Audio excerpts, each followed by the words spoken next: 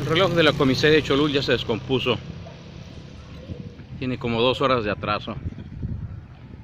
Hace poco, hace como un año o dos, lo reparó, lo mandó más bien reparar el diputado Francisco Torres Rivas.